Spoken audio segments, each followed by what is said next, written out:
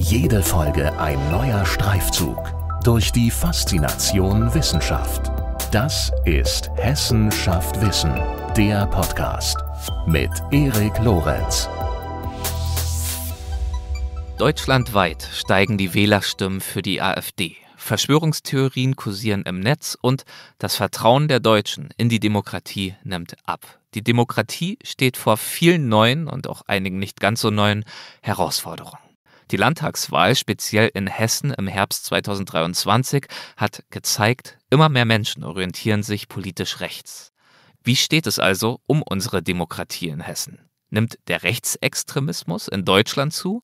Bedroht er gar unsere Demokratie? Und welche Auswirkungen haben Krisen auf die politische Landschaft? Über diese und weitere Fragen sprechen wir in dieser Folge von Hessenschaft Wissen mit Dr. Rainer Becker, dem Leiter des Demokratiezentrums Hessen. Zudem lehrt er an der Philipps-Universität Marburg. Er ist Mitherausgeber der Zeitschrift Demokratie gegen Menschenfeindlichkeit und spezialisiert sich in seiner Forschung auf die Themenschwerpunkte Rechtsextremismus im ländlichen Raum und Beratung im Kontext Rechtsextremismus. Auch das sind Themen, die wir in dieser Folge streifen. Und wir haben diese Folge aufgezeichnet, das zur zeitlichen Verortung Mitte November 2023. Das ist relevant für euch gegebenenfalls, weil wir über einige aktuelle Entwicklungen sprechen, und zwar zu Beginn der Folge, aber dann im weiteren Verlauf des Gesprächs widmen wir uns auch Themen, die zeitlos sind. Also unbedingt hören, ein wichtiges und wie ich finde sehr, sehr spannendes Gespräch. Los geht's. Guten Tag, Dr. Becker. Herzlich willkommen bei Hessenschaft Wissen. Ich freue mich auf und über das Gespräch. Hallo. Hallo. Ja, in der hessischen Landtagswahl im Herbst 2023 ist die AfD als zweitstärkste Kraft in den Landtag gewählt worden. Mancherorts wurde die AfD besonders oft gewählt, in anderen Orten wiederum deutlich weniger häufig. Wie erklären Sie sich das? Warum gibt es bestimmte Orte, in denen besonders viele Menschen die AfD wählen und dann wiederum andere, in denen das nicht der Fall ist? Ist das äh, Zufall oder gibt es dafür bestimmte Gründe? Also ich denke nicht, dass es Zufall hat, aber es ist auch nicht die alleinige Erklärung für den Wahlerfolg der AfD, auch bei der hessischen Landtagswahl oder zeitgleich bei der bayerischen Landtagswahl. Zum einen muss man berücksichtigen, welche großen politischen Themen diskutiert äh, werden und wurden. Und äh, ich denke, die Art und Weise, wie das Thema Flucht und Migration in den Wahlkämpfen eine Rolle gespielt hat, das hat dann auch äh, bei der AfD äh, eingezahlt. Mhm. Wir haben eine große Kritik und das wäre auch die Bundesebene gegenüber der Ampel, äh, gegenüber der Regierungskoalition und zumindestens in Teilen der politischen Öffentlichkeit in Wiesbaden war und ist man die Meinung, dass das auch in den Wahlerfolg der AfD mit eingezahlt hat.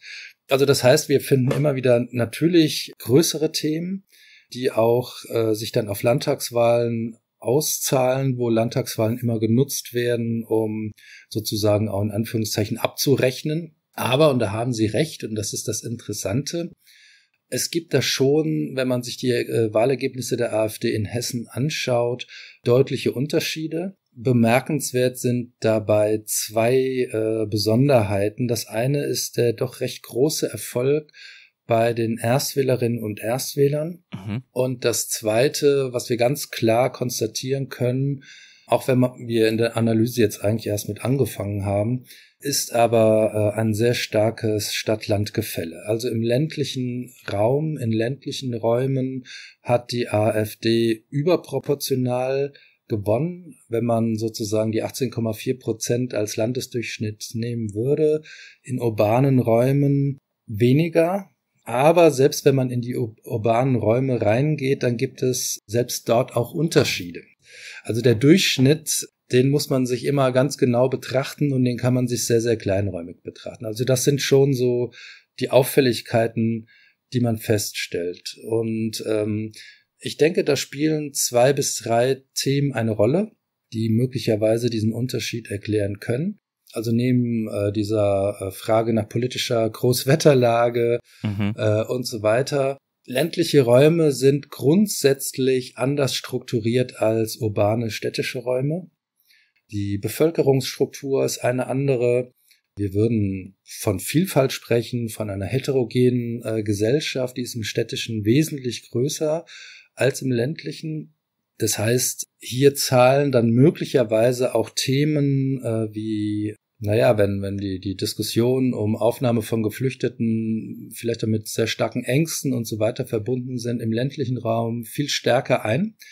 Das ist aber keine neue Erkenntnis. Das kennen wir schon aus sehr, sehr vielerlei Studien. Dass die Befürchtungen in Bezug auf naja, jedwede Veränderung nahezu ähm, an den Orten tendenziell größer sind, an denen solche Veränderungen eher weniger stattfinden oder sich auch weniger direkt auswirken.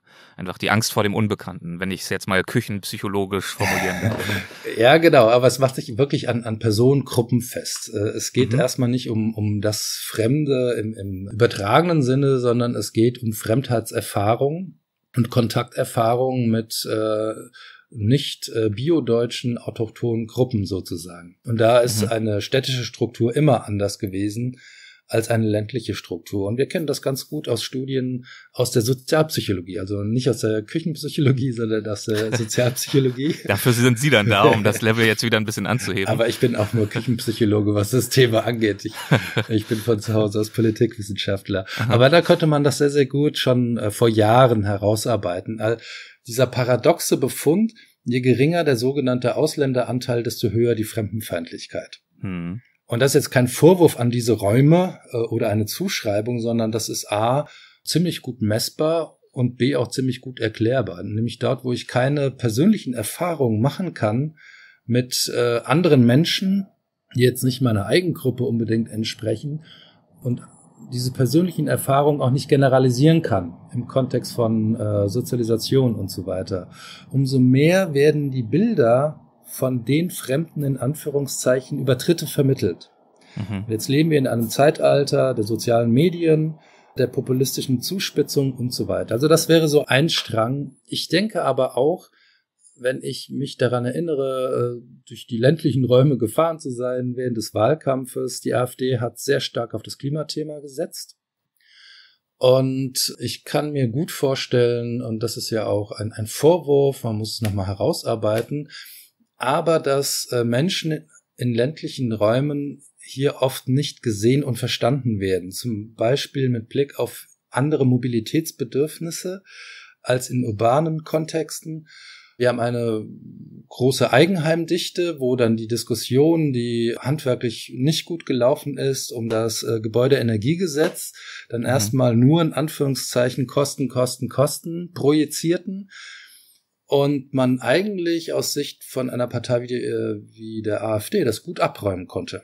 Also da werden äh, Ängste geschürt, da möchte man an eure Lebensgewohnheiten, Praktiken und so weiter fundamental in Frage gestellt. Das gilt es weiter zu ergründen, aber das wäre wirklich meine äh, Hypothese, um, um mhm. ein, eine Erklärung für diesen Wahlerfolg zu finden. Und dieses Ergründen solcher Wahlerfolge, haben Sie auch vorhin in einem Nebensatz äh, angesprochen, lässt sich ziemlich kleinteilig ja. durchführen, ziemlich kleinräumig. Und genau das ist ja, soweit ich weiß, auch eines der Themen, mit denen Sie sich ziemlich ausgiebig beschäftigen. Also konkret an der oder mit der Erforschung äh, kleinräumiger Erfassungen von Demokratie. Sie sind beteiligt am Forschungsprojekt Demo GIS Hessen oder Demo GIS Hessen. Äh, warum ist es wichtig, sich die lokalen Wahlergebnisse so dezidiert anzuschauen?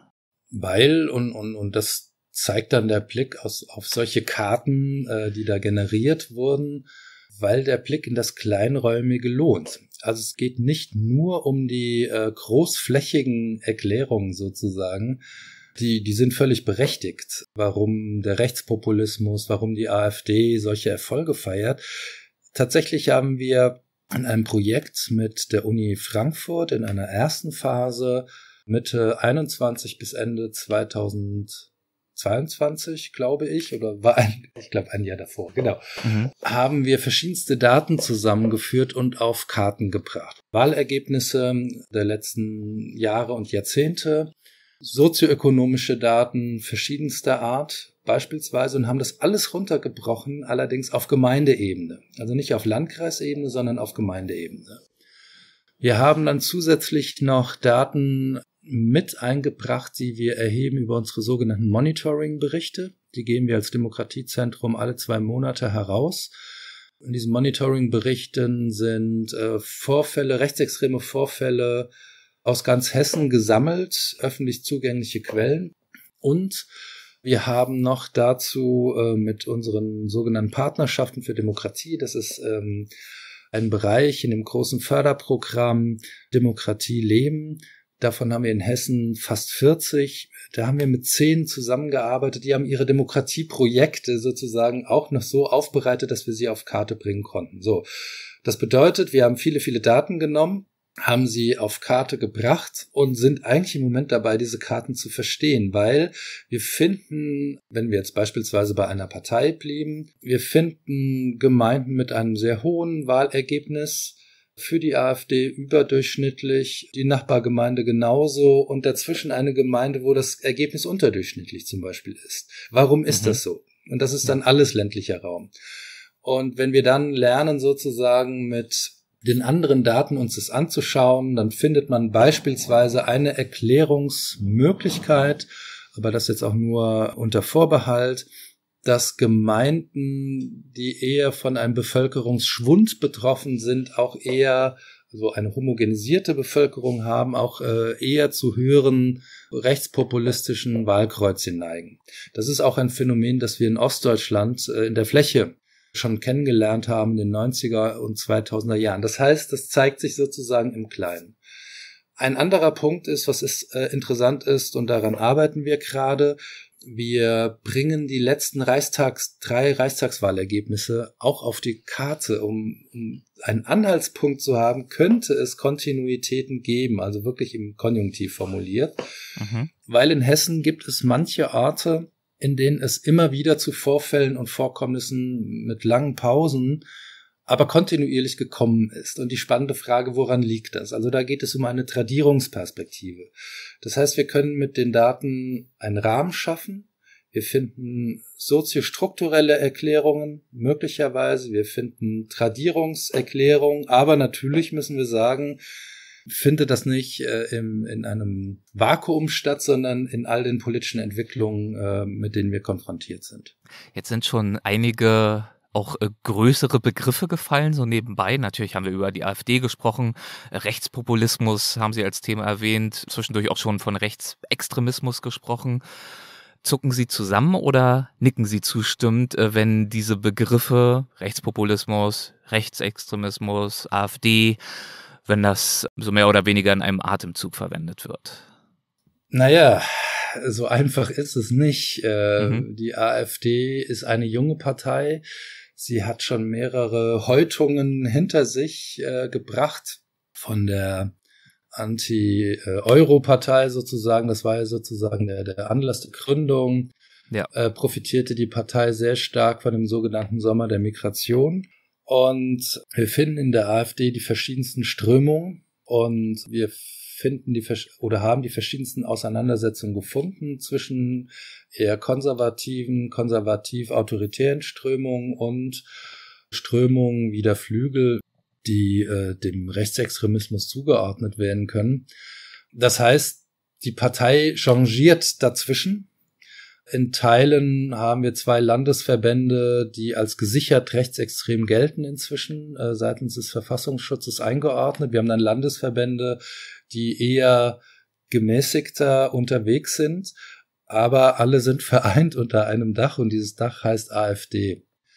Die AfD proklamiert im Vergleich zu einer ganz klar äh, rechtsextremen Partei, wie es die NPD war, sie heißt jetzt die Heimat und ist äh, im Grunde genommen in äh, völligen Bedeutungslos versunken. Äh, sie proklamiert jetzt nicht den, den offenen Systemsturz äh, oder die äh, völlig offene Abwendung und Ablehnung von Demokratie. Also das populistische Spiel ist viel geschickter und in der Tra Sie meinen, sie proklamiert es nicht offen, aber im Subtext der Programme ist es dann doch zu entnehmen, in dem Sinne geschickt? In den Programmen würden sie es eher weniger bis gar nicht finden, weil äh, mhm. die Programme stechen stechen da jetzt nicht unbedingt durch die Klarheit hervor. Äh, da gilt es eher auf die Reden zu achten, auf die Postings zu achten, auf einzelne Protagonisten der AfD zu achten. Also wie gesagt, es geht nicht um den proklamierten Systemsturz, um die offene Ablehnung von Demokratie. Es geht um eine Zuspitzung von äh, unten und oben von das Proklamieren dafür, egal wie viel Prozent man tatsächlich gewonnen hat, Volkesstimme zu vertreten. Und ähm, das hat natürlich keine empirische Grundlage, aber das hat für die Partei eine sehr wichtige moralische Grundlage. Also was der Kern des Populismus so eine Definition ist, dass sie äh, sich erstmal an denen abarbeitet, die Systemträger und Trägerinnen sind. Das Establishment. Das sind, können natürlich die etablierten Parteien, die Systemparteien sein. Das ist ja dann so ein Begriff, den wir immer hören. Oder die Systempresse, das hören wir auch immer wieder. Wissenschaftlerinnen, Wissenschaftler können dazu zählen und so weiter. Also alles, was man so einer gewissen Elite zuordnet. Und In Amerika würde man dann sagen, drain the swamp. Also ja, genau. Der ganze Sumpf des genau. Etablierten. Ähm, also da, das, das finden Sie äh, genau äh, dort eigentlich in Reihenform dann auch wieder. Das heißt, der Populismus ist anti-elitär Mhm. und gleichzeitig vertritt man den Anspruch äh, für das sogenannte wahre Volk. Also wir sind sozusagen die 100 Prozent, auch wenn man nur 13 oder 14 oder 15 oder 16 Prozent gewonnen hat. Also das macht das Ganze zu einer moralischen Aufladung. Und dann wird das auch ab einem Punkt, ab einem gewissen Punkt nicht mehr sehr diskursiv, weil es von dieser Zuspitzung lebt.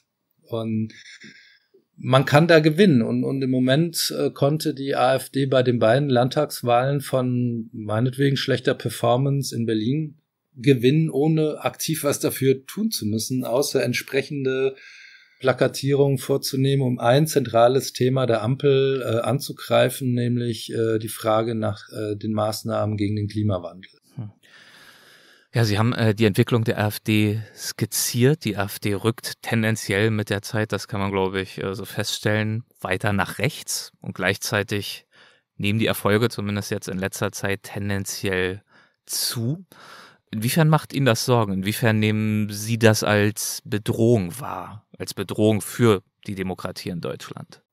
Nun, wir kennen seit Anfang der 1980er Jahre aus verschiedenen und teilweise regelmäßig stattfindenden empirischen Studien, dass es auf der Einstellungsebene in äh, der Bundesrepublik ein bestimmtes Potenzial von Menschen gibt, die eine rechtsextreme Einstellung geschlossen oder in Teilen aufweist. Und das ist eine sehr abstrakte Geschichte, weil Einstellungsstudien klären uns noch nicht darüber auf, wie verhalten sich Menschen. Hm. Bis es die AfD gegeben hat, hat man in diesen Studien natürlich auch gefragt, was wählen die Menschen äh, mit solchen Einstellungen. Und da gab es drei Parteien, die gewählt wurden. Es waren die beiden großen Volksparteien, CDU, SPD, aber die allergrößte Partei, die gewählt wurde, es war die Partei der Nichtwähler. Und der AfD ist es gelungen, dieses Potenzial äh, an Nichtwählern anzusprechen, ebenso und scheint ebenso wie das Potenzial, und das zeigen dann jetzt die Studien, seitdem, seitdem es die AfD gibt, die eine ausgeprägte beziehungsweise geschlossene rechtsextreme Einstellung haben. Also hier findet etwas seine Form, hat eine Bindung gefunden und ähm, hat nun natürlich eine ganz andere parteiförmige Anbindung in die Parlamente als jemals zuvor. Die NPD war mal relativ erfolgreich in den 60er Jahren, dann wieder super nicht erfolgreich und Mhm. hatte nochmal so ein, ja, ein Revival erlebt in zwei ostdeutschen Landtagen, hat auch in Hessen einige kommunale Hochburgen halten können oder sogar ausbauen können in den 1990er Jahren. Aber in diesem Ausmaß und dann eben nicht isoliert, sondern man muss ja nur in europäischen Nachbarstaaten gucken oder Sie haben eben die Vereinigte Staaten, Vereinigten Staaten genannt. Ist das schon ein, ein Trend, den wir weltweit in, in Demokratien feststellen können? Und ja, um auf Ihre Frage endlich zu antworten, ich finde das besorgniserregend. In einem Vortrag haben Sie mal gesagt, Rechtsextremismus ist nicht wieder eine Bedrohung, er war die ganze Zeit eine Bedrohung. Da könnte man ja meinen zum Thema besorgniserregend. Ja gut, war die ganze Zeit schon, ähm, da ist immer gefährlich, müssen immer drauf achten, so ist es jetzt auch. Ähm, gleichzeitig sagen Sie gerade, Sie sind besorgt ähm, und eine andere Aussage von Ihnen lautet, Zitat, möglicherweise war es noch nie so ernst um die Demokratie bestellt wie heute. Das klingt dann wiederum ja, in der Tat ziemlich besorgt. Und ähm, diese beiden Aussagen passen ja auch nur auf den allerersten oberflächlichen Blick nicht zusammen. Ja, also wenn man sich mit der Geschichte des Rechtsextremismus auseinandersetzt, es hat ihn von Anfang an seit der Gründung der Bundesrepublik, wenn wir jetzt nur von Westdeutschland sprechen, hat es äh, Rechtsextremismus gegeben in unterschiedlichsten Ausprägungen, mhm. unterschiedlichste äh, Gruppierungen, äh, Parteien, die teilweise erfolgreich waren, teilweise äh, sehr in Bedeutungslosigkeit gefallen sind, bis hin zu freien Strukturen in den 90er Jahren, Kameradschaften, hochgewaltbereit, bis hin zu einer eigenen äh, ausgeprägten Jugendkulturen und, und, und. Also es gibt ein breites, breites Spektrum bis heute an Organisationsformen, was sich ein Stück weit verändert hat. Es ist nicht mehr so überschaubar wie beispielsweise vor, bis vor zehn Jahren, 15 Jahren. Also gerade dieses Kameradschaftsspektrum, das sich auch gegründet hat in Abgrenzung zu rechtsextremen Parteien, weil sie den Vorwurf an die Parteien formuliert haben, dass sie ja äh, selbst Systembüttel seien, weil sie an Wahlen teilnehmen würden also unabhängig, äh, einerseits regional stark verankert, sichtbar, wo es auch darum ging, äh, physische Angsträume zu schaffen, ähm, aber untereinander, miteinander, bundesweit sehr, sehr vernetzt. Das war schon bedrohlich. Es war nicht überschaubar im Sinne von, dass es harmlos war, aber man konnte diese Strukturen gut erkennen und voneinander unterscheiden. Die gibt es in dieser Form so nicht mehr. Zumindestens äh, nicht mehr hier bei uns in Hessen. Mhm. Wir haben es mit, also wenn wir wirklich so in den harten Rechtsextremismus gehen, zwar noch die Kleinstparteien, da kommen noch Parteien wie die Rechte dazu oder äh, der dritte Weg, aber wir haben Mischszenen. Der Kampfsport spielt eine Rolle, wir hatten es bei Corona erlebt, da äh, sind Menschen miteinander auf die Straßen gegangen, die eigentlich nie zusammen auf die Straßen gehen äh, gegangen wären, um zu protestieren. Aber das einigende Band, das war wesentlich stärker. Und das war ähm, eine fundamentale Kritik am politischen System. Also nicht mehr nur an einzelnen Maßnahmen, sondern das drehte sich ja immer mehr in eine Systemfrage hinein. Und soweit ich das beurteilen kann, kam diese Kritik dann bei diesen Märschen eben auch nicht mehr nur vom extremen Rand, sondern so durchaus auch aus der demokratischen Mitte mitunter. Genau. Und, Damit lösen sich dann auch diese klaren Abgrenzungen, die man vorher noch vornehmen konnte, Sie haben es ja ausgeführt, auf. Und, und, und hier gibt es sozusagen andere Resonanzräume. Wir haben da spielen die sozialen Medien oder unser Medienverhalten in den sozialen Medien eine zentrale Rolle. Wir haben es mit Zuspitzungen, Entgleisungen, Polarisierungen zu tun.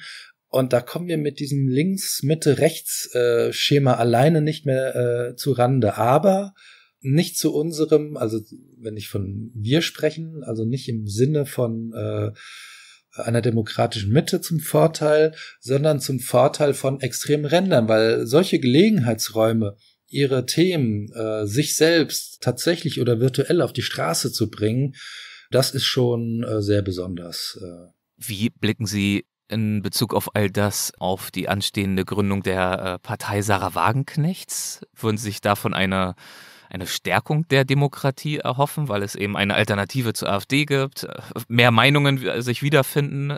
Oder haben Sie da die Befürchtung, dass das eher ähm, diese extremen Ränder und eben die Zweifel an etablierten Parteien zum Beispiel äh, stärken könnte und das zum Nachteil für die demokratischen Strukturen gereichen könnte? Naja, sowohl die AfD als auch die äh, künftige Sarah Wagenknecht-Partei, die äh, decken ein bestimmtes Spektrum ab. Ein, ein äh, Spektrum oder kleinere Spektren von einer Gesellschaft, die ja selbst immer partikularer geworden ist. Also das ist ja sozusagen das Parteienspektrum ist ein Abbild, so könnte man formulieren, von einer äh, immer stärker fragmentierteren Gesellschaft, was viele, viele Vorteile hat, dass alles nicht mehr starr und eng gebunden äh, ist.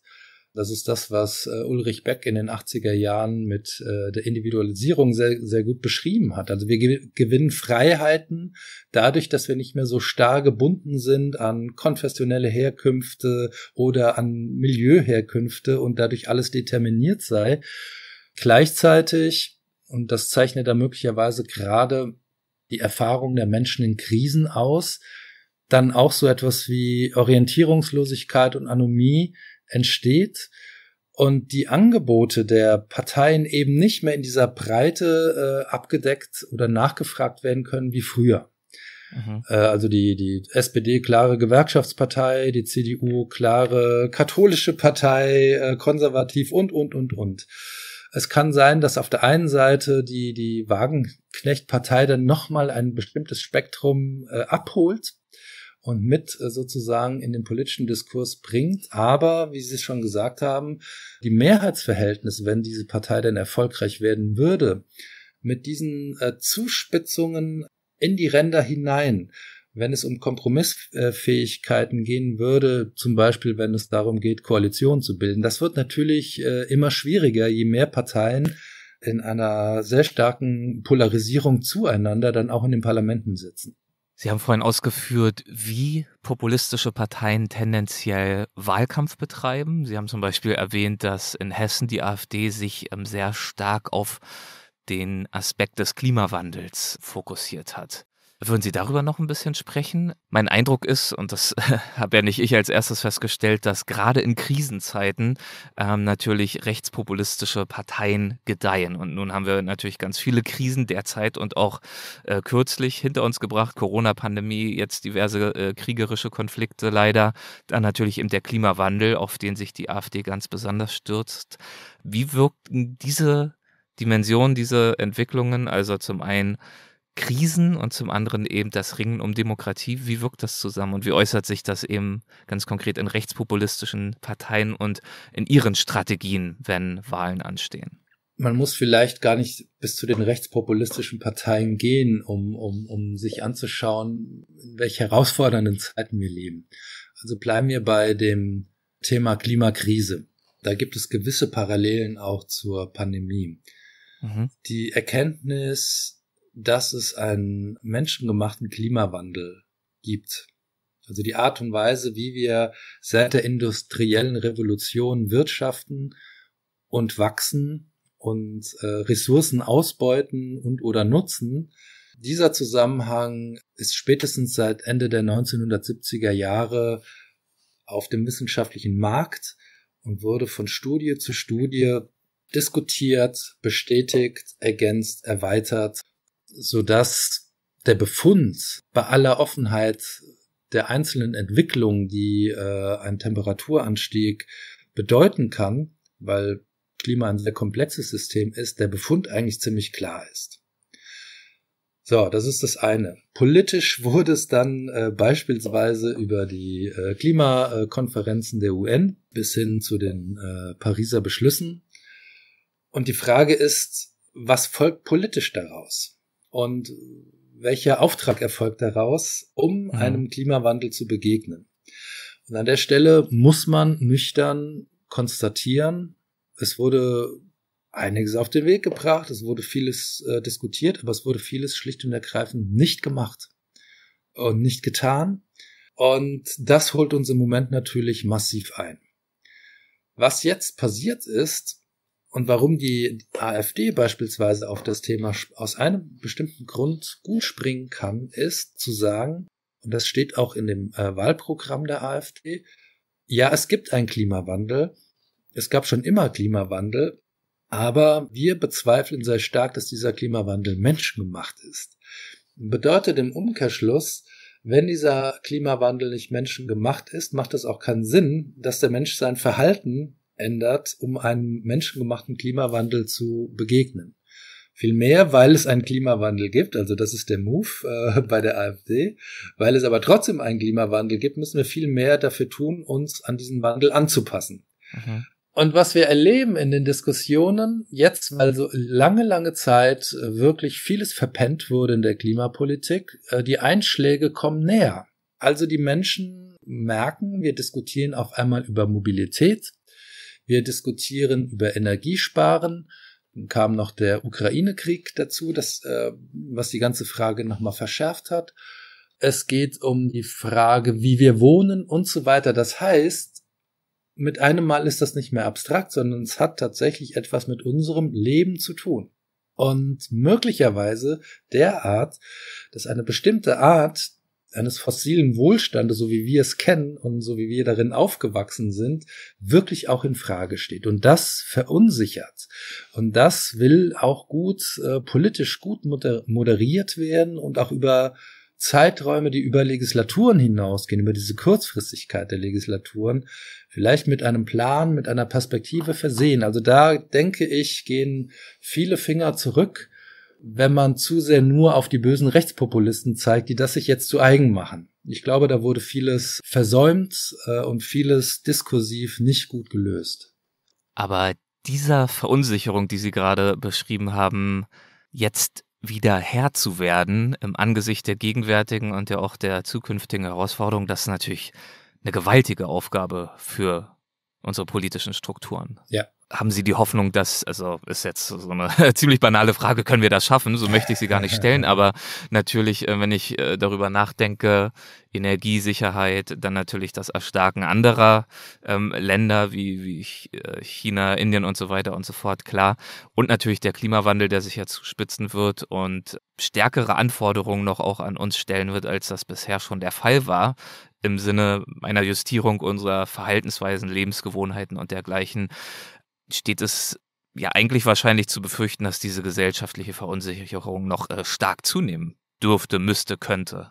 Genau. Wenn man äh, sich aber auf der anderen Seite dazu ein Stück weit auch Untersuchungen anschaut, das ist nie die Mehrheit. Und ich glaube, äh, im Moment. Mhm. Äh, mhm. Und ich denke, damit muss man arbeiten. Es geht, wenn wir über Demokratie sprechen, sprechen wir nicht nur über die Verantwortung von Parteien. Also das wäre ein sehr, sehr eng gefasster Demokratiebegriff, ja. äh, den wir wählen würden.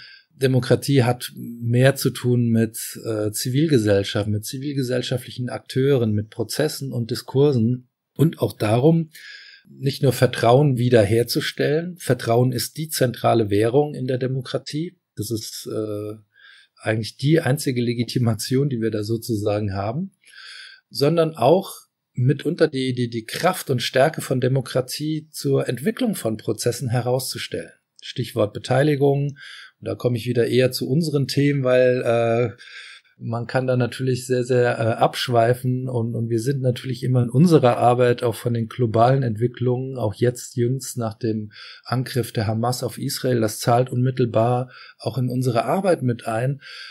Aber es geht immer um die Frage, äh, wo ist unser Handlungsspielraum, was können wir tun? Und da ist natürlich der kommunale Blick, die kommunale Perspektive dann auch hilfreich. Das sind Räume, in denen man Menschen auch wieder zusammenbringen, zusammenholen kann, wo man zuhören kann, wo man vielleicht was Neues entwickeln kann. Hier haben wir auch äh, in der Vergangenheit wirklich sehr, sehr gute Erfahrungen gemacht. Deswegen so ganz hoffnungslos bin ich da wirklich nicht.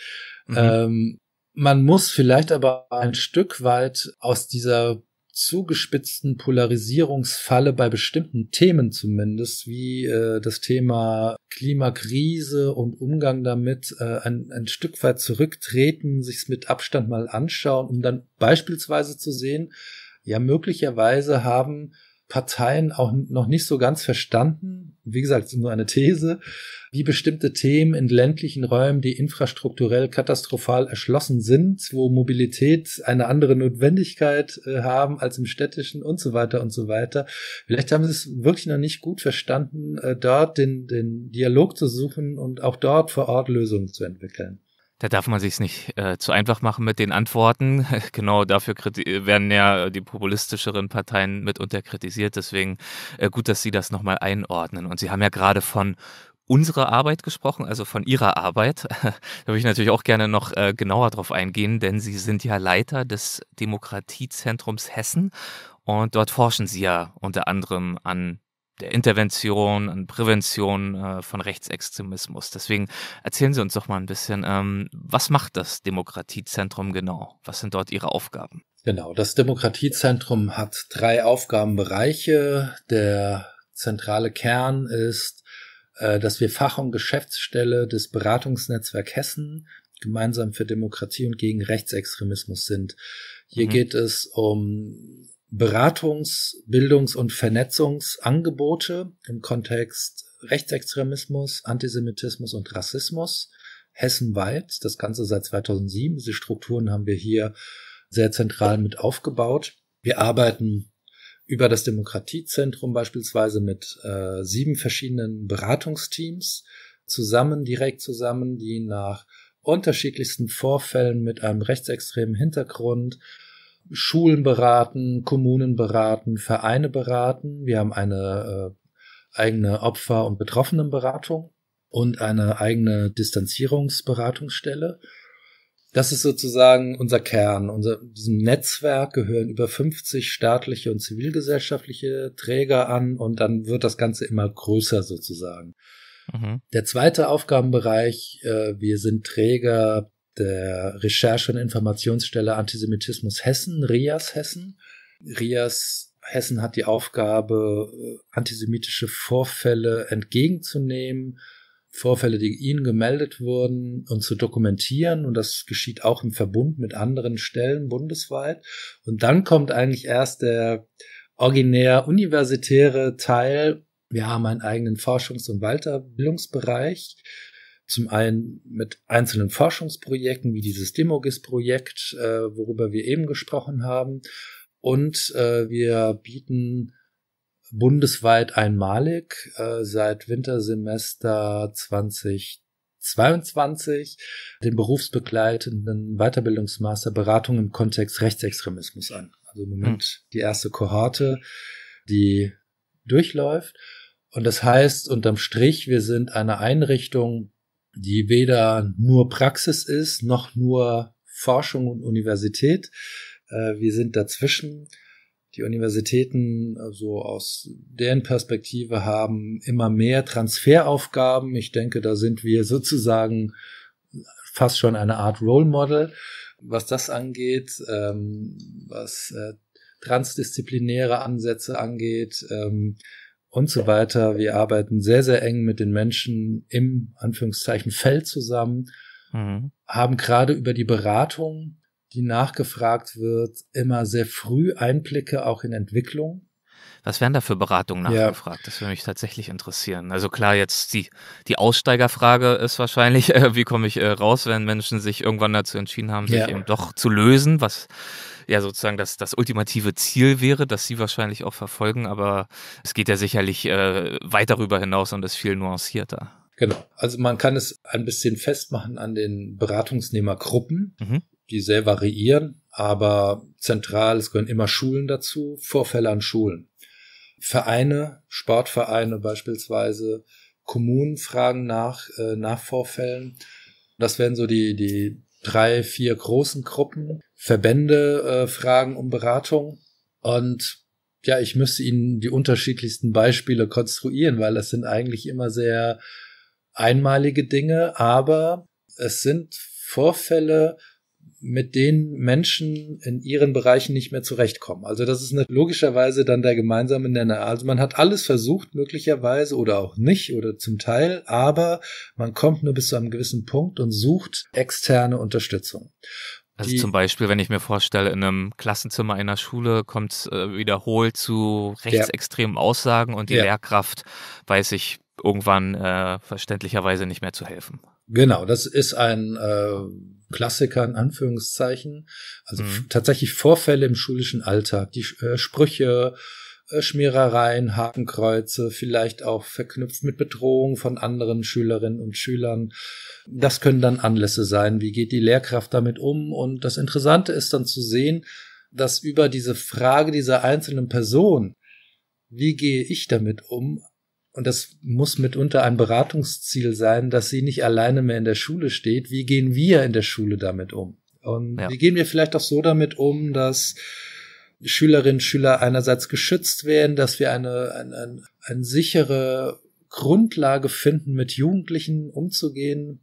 Klammer auf, wir wissen aus äh, schulischen äh, Studien im Kontext äh, Rechtsextremismus, dass dort, wo sehr, sehr barsch, sehr hart skandalisiert wurde gegenüber äh, jungen Menschen, die fürchterliche Sprüche von sich gegeben haben, mitunter das dazu geführt haben, dass sie eigentlich äh, noch mehr noch mehr sozusagen in äh, das Gedankengut oder gar in Szenen eingestiegen sind. Also das heißt, wie kann auch darüber eine ein pädagogischer Umgang äh, sozusagen entwickelt werden. Das wäre so ein ein Beispiel, ein anderes Beispiel, was uns sehr beschäftigt. Das sind Beleidigungen, Bedrohung von Bürgermeisterinnen und Bürgermeister, von kommunalen Amtsträgern, von Verwaltungsmitarbeitenden. Hierzu und hier können wir auch die Dinge jetzt inzwischen gut miteinander verknüpfen. Führen wir aktuell auch eine eigene Studie durch, eine Interviewstudie mit Bürgermeisterinnen und Bürgermeistern.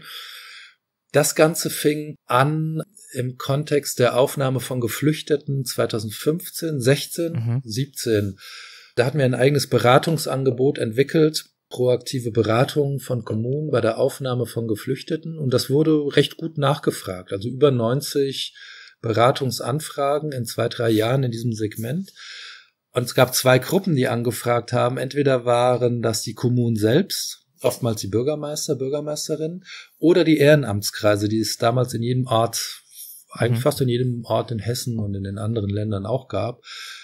Und wir haben uns das Ganze hinterher nochmal angeschaut. Diese Beratungsfälle werden do immer dokumentiert. Wir können damit bis zu einem gewissen Punkt sehr gut arbeiten auch. Eine gute Hälfte der Beratungsanfragen bezog sich auf die Frage, was können wir tun, damit die Stimmung in unserem Ort nicht kippt. Das war ein Anlass. Ein gutes Viertel der Beratungsfälle hatte zum Anlass die Frage, wie können wir Zusammenleben neu gestalten, dadurch, dass Menschen zu uns gekommen sind. Also sowas Positives. Ich meine, das, ja. Ne, ist ja wunderbar. Das ist natürlich auch eine große Frage, aber äh, ja, zumindest. Ja. Kann man aber schön runterbrechen, wenn es um einen Ort ja. geht. Ne? Ähm, oder ein Viertel bezog sich aber auch auf äh, Bedrohungslagen. Ich wollte gerade fragen, ich habe damals auch viel davon gelesen, darüber gelesen, dass äh, Lokalpolitikerinnen, Politiker, Bürgermeisterinnen, Bürgermeister wahnsinnig oft, absolut furchtbar oft ähm, sich Bedrohungen und Anfeindungen ausgesetzt gesehen haben und vielleicht auch immer noch ausgesetzt sehen. Und damit geht natürlich äh, sicherlich in, auch ein riesiges Gefühl der Ohnmacht einher, weil das sind ja oft, naja, anonyme Bedrohungen oder zumindest Bedrohungen, die, solange es jetzt nicht zu äh, polizeilich ahndbaren äh, Taten kommt, wahnsinnig schwer neutralisiert werden können, denen wahnsinnig schwer begegnet werden kann. Deswegen würde mich natürlich sehr interessieren, wenn sich da jemand an Sie wendet, mit einem solchen Problem, das ja auch ähm, nicht nur ein politisches Problem ist, nicht nur ein Problem fürs Zusammenleben, sondern auch zu einer persönlichen Verzweiflung führen kann, gleichzeitig aber äh, sich hinreichend abstrakt anfühlen könnte, um eben sich machtlos zu fühlen. Wie gehen Sie mit so einer anspruchsvollen Anfrage um? Das ist in der Tat eine sehr anspruchsvolle Anfrage. Bei äh, Bedrohungslagen ist es auch äh, natürlich absolut notwendig, dann ähm, das passiert dann auch in der Regel, die Polizei mit einzuschalten.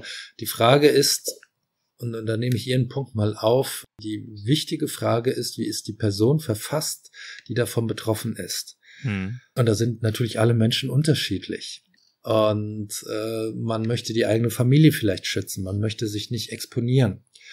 Man hat auf der anderen Seite dann irgendwie nicht so äh, vor Augen, dass man nicht persönlich angegriffen wird, sondern als Amtsträgerin oder Amtsträger. Und dann wird es natürlich sofort wieder politisch. Ja. Das heißt. Ist natürlich aber auch sehr schwer, diese Differenzierung dann äh, psychologisch vorzunehmen, nicht wahr? Doch, das ist aber sehr hilfreich, weil, ja, weil, ja. weil das kann eine Hilfe sein, ein Stück weit aus dieser Isolation herauszukommen, mhm. indem man ja. äh, ermutigt oder nach Wegen guckt. Also wie gesagt, Beratung ist immer alles freiwillig, da gibt's keine Patentrezepte. Ja. Aber die Öffnung einer Bedrohungssituation, andere mit ins Boot zu nehmen, zu informieren, weil man als äh, Amtsträger, als Mandatsträger angegriffen, das kann sehr, sehr wichtig sein.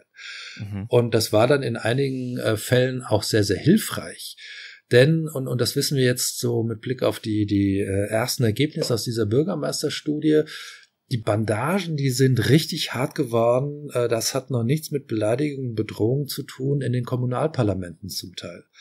Also die äh, Zuspitzung, die populistische Zuspitzung, will ich mal sagen, findet auch mancherorts im Kleinen statt so dass man sich dann schon fragen muss, Stichwort politische Kultur und welche, wie wollen wir miteinander umgehen?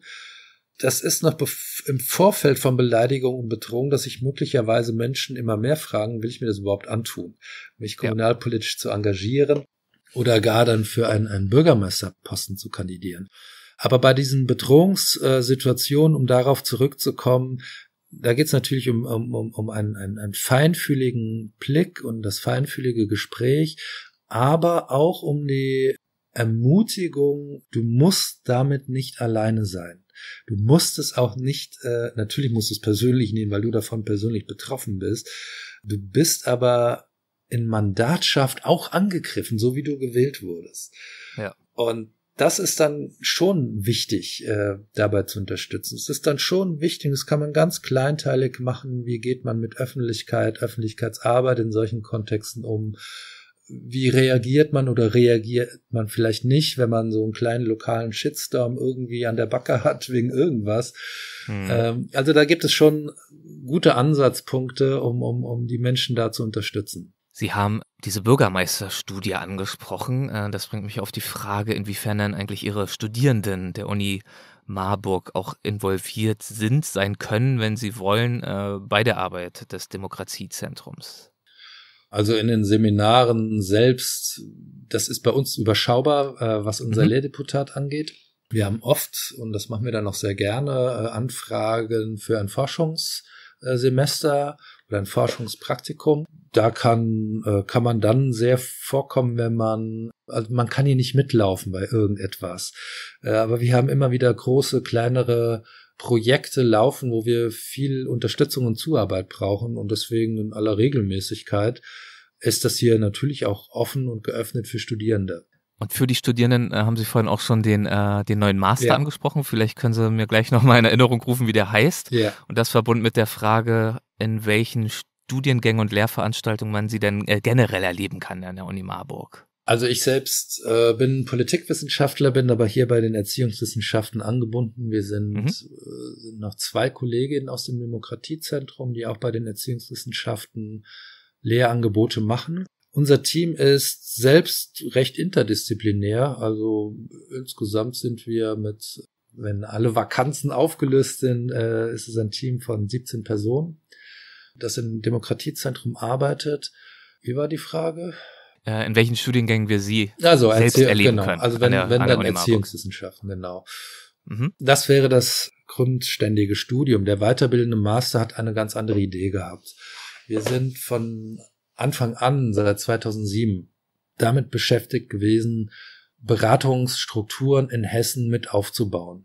Dieser ganze mhm. Ansatz der Beratung, der mobilen Beratung in diesem äh, Themenkontext stammt aus Ostdeutschland, wurde dort auch entwickelt von äh, Vorgänger Bundesprogramm finanziert äh, von Mitte der 90er bis 2007 und dann kam die äh, Öffnung nach, äh, in den Westen. Und dieses Thema ist natürlich ähm, heikel. Es braucht eine hohe fachliche Expertise derjenigen, die im Feld sind. Und diese Anbindung eines Demokratiezentrums an eine Universität ist bundesweit einmalig. Also es gibt mhm. in jedem Bundesland ein Landesdemokratiezentrum. Das hat etwas mit der Förderprogramm Architektur zu tun, aber wir sind bundesweit das einzige Demokratiezentrum an einer Universität. Und wir haben von Anfang an Wert darauf gelegt, mit den Beraterinnen und Beratern zusammen in diesem neuen Handlungsfeld Standards zu entwickeln, Qualitätsstandards zu entwickeln, äh, Dokumentationsinstrumente zu entwickeln, zu lernen, wie können wir fachlich Auskunft geben über dieses Feld, was natürlich hochpolitisch ist. Äh, die Deutung, was ist Rechtsextremismus, das obliegt ja nicht nur den Unis, sondern das äh, findet in den Parlamenten statt. Und so ist ein besonderer Punkt, nämlich der der Berufsfeldentwicklung und Professionsentwicklung für uns ein ganz wichtiger geworden. Wir haben 2013 angefangen mit einem Institut aus Tübingen, systemische Beratungsansätze in einer modularen Weiterbildungsreihe erstmal nur für unsere hessischen Beraterinnen und Berater anzubieten, aber das war ein richtiger Erfolg. Das wurde ein Jahr später bundesweit nachgefragt und seitdem bieten wir das für das gesamte Bundesgebiet an. Also Sie haben damit wirklich neue ja. naja, Berufe entwickelt, definiert. Mit, also es, es, haben andere, andere waren da viel früher, um Gottes Willen. Ja. Ähm, wir, wir leisten da unseren kleinen Beitrag. Mhm. Und für uns war es dann, äh, für mich persönlich auch irgendwann die, die logische Konsequenz, ähm, in Richtung Studiengang zu denken. Weil die Wissensbestände, die sind natürlich äh, sehr, sehr groß und sehr, sehr wichtig und so äh, baut sich dieser Studiengang Beratung im Kontext Rechtsextremismus natürlich mit einem hohen Wissensteil Anteil auf. Was ist Rechtsextremismus mit all den Facetten, Demokratietheorien, aber natürlich auch ein äh, Module zum Thema Beratung und äh, abschließend auch, das war mir sehr wichtig, ein Modul äh, zum Thema Haltung und Ethik. Mhm. Das ich mit einer Kollegin, einer Philosophin aus äh, Münster zusammen mache. Weil es zum einen ein hoch anspruchsvolles Arbeitsfeld ist, in dem man sich und gerade in diesen unsicheren Zeiten oder wo alles so im Umbruch ist, natürlich auch vieles immer sich kapriziert auf unsere Wertegrundlagen. Und, und das denke ich äh, für einen Beruf in diesem Kontext oder eine Berufung für viele auch, äh, halte ich das natürlich auch für sehr wichtig, sich das zu vergegenwärtigen. Ich habe kürzlich für einen anderen Podcast, den ich äh, mache, mit einem Wissenschaftsjournalisten gesprochen, der hat auch über die Bedeutung des Themas, des Begriffs der Haltung ja. für ihn als Journalisten gesprochen. Und differenziert zwischen Haltung und Meinungen ist natürlich was ganz anderes und tendenziell aus seiner Sicht natürlich wichtig als Wissenschaftsjournalist, der gewisse Ansprüche an sich selbst hegt, äh, nur nicht ständig Meinungsmache zu betreiben oder bestenfalls nie, nicht mit Meinungen zu arbeiten, zumindest nicht, wenn diese nicht als solche gekennzeichnet sind, aber durchaus und das auch gern und definitiv mit einer Haltung ans Werk zu gehen. Und äh, so verstehe ich Ihren Punkt ähm, hervorzuheben, Haltung und Ethik natürlich auch. Dass es nicht darum geht, äh, politisch jetzt irgendwie äh, Meinungsmache zu betreiben und in irgendwelche äh, konkreten Richtungen äh, die Dinge hinzumoderieren, aber im Sinne eines prodemokratischen Grundverständnisses natürlich mit einer gewissen Haltung und zugrunde liegenden Werteethik ans Werk zu gehen. Genau, das ist interessant. Also der Haltungsbegriff ist ein sehr schillernder. Das würde jetzt, glaube ich, äh, zu weit führen, mhm. den ich auch sehr kritisch sehe. Ich habe mich wirklich viel mit dem äh, Begriff beschäftigt. Ja. Nächste Woche werde ich in unserem Podcast genau zu diesem Thema interviewt. Äh, in unserem Podcast heißt jetzt äh, natürlich hier nicht in unserem, sondern in ja, ihrem, ja, stimmt, nämlich dem äh. Dem Podcast, den Sie mit dem Demokratiezentrum genau. zusammen machen und herausgeben. Extreme Zeiten, genau. Äh, mhm. Entschuldigung. Nee, kein Problem. Also darin sprechen Sie, glaube ich, einmal monatlich mit Expertinnen, Experten, Beratern über Themen wie Rechtsextremismus, genau. Rassismus, Verschwörungen, gewaltorientierter Islamismus und so weiter und versuchen eben ihren Beitrag zu leisten hin zu Aufklärung. Die letzte Folge würde auch wunderbar zu Ihnen passen. Das war eine Folge zum Thema Wissenschaftsfeindlichkeit. Mhm. Die wie ich finde, wirklich gut gelungen ist. Ja. Äh, aber egal, wir wollen jetzt keinen Werbeblock für den anderen Podcast machen. Zu spät, aber spät. es sei Ihnen gegönnt. Aber Sie haben recht, also die Auseinandersetzung, äh, was ist Demokratie? Mhm. Was heißt es, wenn ich möglicherweise vor mir hertrage, ich muss die Demokratie fördern, retten, äh, muss Demokratiebildung machen und so weiter? Da sprechen wir eben nicht nur über Institutionen oder über Prozesse wie Wahlen und so weiter, da sprechen wir natürlich auch über eine substanzielle Dimension von Demokratie, nämlich welche Werte bieten, äh, sind Grundlage und sind teilweise auch nicht verhandelbar einerseits, und dann wird es aber interessant, können aber sehr, sehr im Widerstreit zueinander stehen andererseits. Mhm. Was sind die basalen Werte von Demokratie? Wie kann ich mir das vergegenwärtigen, auch für eine praktische Beratungsarbeit oder für eine pädagogische Arbeit. Und dann kommt eine dritte Dimension neben dieser formalen und substanziellen Dimension von Demokratie, die dritte Dimension, die prozesshafte, die nämlich sagt, Demokratie ist eigentlich nie fertig. Und das ist die Stärke und Schwäche von Demokratie zugleich. Ähm, sie ist immer entwicklungsfähig.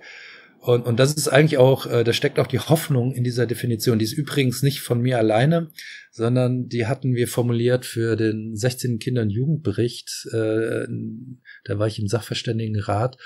Wir hatten den Auftrag, äh, zum Thema demokratische Bildung im Kindes- und Jugendalter zu schreiben. Mhm. Und hatten uns gefragt, wie kommt die Bundesregierung auf das Thema 2018? War ja auch schon alles in Bewegung und haben uns dann selbst erstmal äh, diese zentralen Begriffe erarbeitet und, und daher diese drei, dieser dreigeteilte Demokratiebegriff. Und da sieht man schon, da ist so viel äh, Spannung und Bewegung drin, wenn ich eben nicht sage, Demokratie ist einmal in Erz gegossen und Werte muss ich mir wirklich auch nochmal anschauen. Gerechtigkeitsfragen können mit Freiheitsfragen durchaus konfligieren. Da äh, kann es alleine auf der Ebene knallen.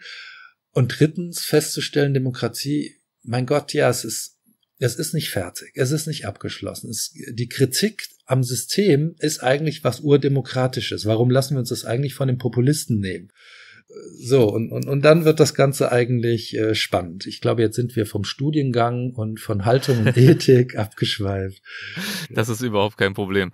Demokratie ist nicht fertig. Auch dieses Gespräch äh, müsste von meiner Seite aus nicht enden, dürfte gerne noch weitergehen, aber leider müssen wir ja doch irgendwann zum Ende kommen hier.